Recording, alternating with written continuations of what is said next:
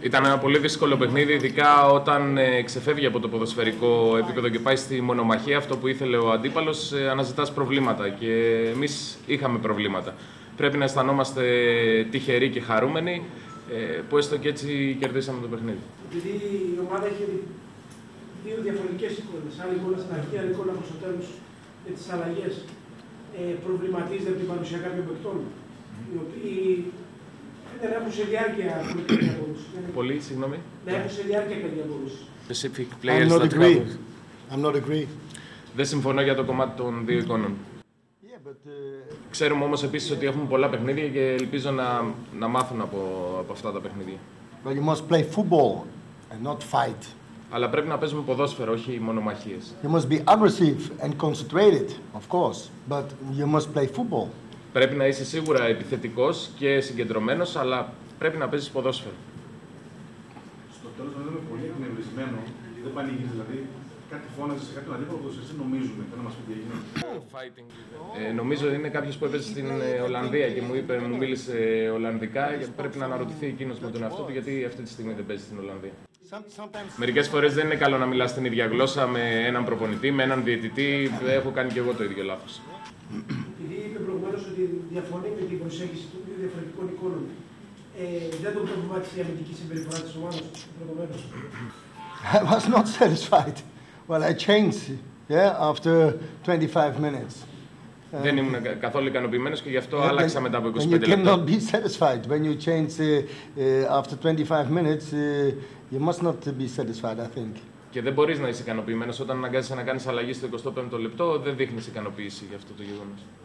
Μπορούμε να καταλάβουμε το σκεπτικό γιατί όντω μα προβλημάτισε τις μη χρησιμοποιήσεις του συνόλου από την αρχή τη στιγμή που ο συγκεκριμένος παίκτης ε, πιέστηκε πάρα πολύ λόγω λήψη αγωνίας στην ομάδα για να παίξει όλα τα παιχνίδια και τώρα που είναι ξεκούραστος δεν ξεκίνησε.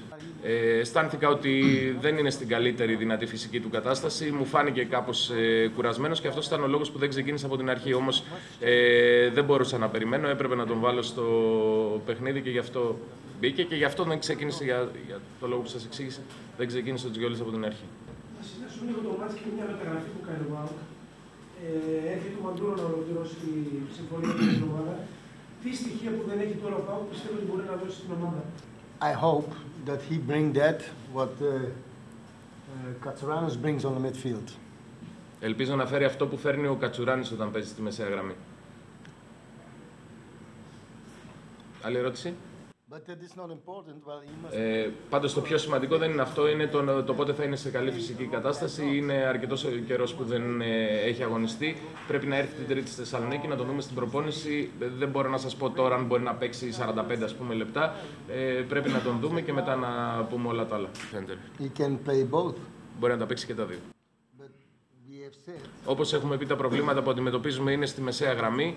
Ε, μπορεί να παίξει και κεντρικός αμυντικός και ίσως στην αρχή να τον χρησιμοποιήσουμε ως κεντρικό αμυντικό γιατί είναι πιο εύκολο να μπει σε ρυθμό αγώνων έτσι. and we have a lot of games. Yeah; Και έχουμε πραγματικά In, uh, πολλά παιχνίδια. January and February, and I hope even so in March. I hope. Yeah; But we have, uh, I think, uh, 15 games. Και έχουμε πάρα πολλά παιχνίδια Ιανουάριο, Φεβρουάριο In και short ελπίζω time, και, and you need players. και Yeah; Μάρτιο σε πολύ σύντομο χρονικό διάστημα και χρειαζόμαστε τους παίχτε. Είναι νομίζω 15 παιχνίδια. And when you see the yellow cards today, yeah, there are two players even so out. Yeah. Και After βλ- today. Και βλέποντας και τις κίτρινες κάρτες Unbelievable. σήμερα, ήδη δύο παίχτε πρέπει να τους υπολογίσουμε να είναι εκτός σε κάποιο παιχνίδι. Είναι απίστευτο.